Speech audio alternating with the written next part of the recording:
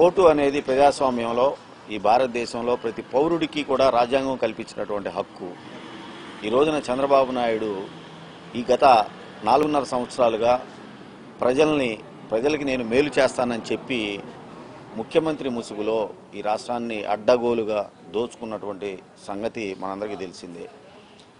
లక్షల కోట్ల రూపాయల అవినీతిని చేసి ప్రజాధనాన్ని లూటీ చేసి ఏ ఒక్క పేదవాడిని రైతుని సామాన్యుడిని పట్టించుకోకుండా ఈ చంద్రబాబు నాయుడు తన పరిపాలన కొనసాగిస్తూ ఇక నాలుగైదు నెలల్లో ఎన్నికలు రాబోతా ఉన్నాయి. ప్రజలు నన్ను తిరస్కరిస్తారు. నేను ఇక రాజకీయాల్లో నన్ను శాశ్వతంగా తొలగిస్తారని చెప్పి గమనించినటువంటి గ్రహించినటువంటి చంద్రబాబు నాయుడు అక్రమంగా అన్యాయంగా నేను ఎలా అయినా మళ్ళీ ఎన్నికల్లో గెలవాలి. ఎందుకంటే రాజశేఖర రెడ్డి గారు లాంటి రాజన్న పరిపాలన జగనన్న తీసుకొస్తాడని ఈ రాష్ట్ర ప్రజలు గమనించేశారు. చంద్రబాబు నాయుడికి అర్థమైపోయింది జగనన్న ఈ రాష్ట్రానికి ముఖ్యమంత్రి కావడం తథ్యమని. జగన్మోహన్ రెడ్డి గారిని ఈ రాష్ట్రానికి ముఖ్యమంత్రి కాకుండా అడ్డుకోవాలి అని అంటే నా దగ్గర ఉన్నటువంటి అక్రమ సంపాదనతో ఈ రోజున ఇక నేను ఏమైనా చేయగలుగుతాను.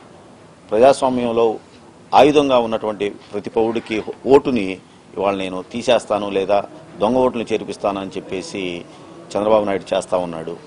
మా మంగళగిరి ని- నియోజకవర్గానికి సంబంధించి ఆయన సుమారు పన్నెండున్నర పదమూడు వేల ఓట్లని దొంగ ఓట్లని చేర్పించటం. అంతేకాకుండా వైఎస్ఆర్ కాంగ్రెస్ పార్టీకి అనుకూలంగా ఉన్నటువంటి వ్యక్తుల్ని మాజీ సర్పంచుల్ని ఎంపీటీసీలని వీళ్ళందరినీ కూడా ఇవాళ వాళ్ళ ఓట్లు లేకుండా చేశాడు అని అంటే ఎంత అన్యాయంగా అక్రమంగా చంద్రబాబు నాయుడు ప్రభుత్వం చేస్తా ఉందో గమనించమని చెప్పి ప్రజలను కోరుకుంటా ఉన్నాం. సర్పంచ్ గారికే ఓటు లేదు ఆ గ్రామంలో అని అంటే ఇంకా అంతకన్నా దారుణమే ఉంది. అలాంటి ఇలాంటి పరిస్థితులు చేపిస్తున్నటువంటి చంద్రబాబు నాయుడు మీద చర్య తీసుకోవాలని. మరి ఒక్క మంగళగిరిలోనే ఈ రోజున సుమారు పదమూడు వేల ఓట్ల వరకు చంద్రబాబు నాయుడు ఈ విధంగా చేస్తూ ఉన్నాడు అని చెప్పేసి ఆ ఓట్ల సంఖ్య ఓట్ల పేరుతో ఆధారంగా ఆధారాలతో సహా కూడా కలిసి ఈరోజు నేను సిసోడియా గారిని కలిసి రాష్ట్ర ఎన్నికల అధికారి అయినటువంటి సిసోడియా గారిని కలిసి ఆయనకి వినియోగించడం జరిగింది. సాక్ష్యాధారాలతో సహా ఆయన నేను వీటన్నిటిని కూడా విచారించి మేము గట్టిగా చర్యలు తీసుకుంటాము. దొంగ ఓట్లని మేము సహించమని చెప్పి చెప్పడం జరిగింది. ఈ కాపీని నేను సెంట్రల్లో ఎలక్షన్ కమిషన్ కూడా పంపిస్తానని కూడా సిసోడే గారికి నేను వివరించడం జరిగింది.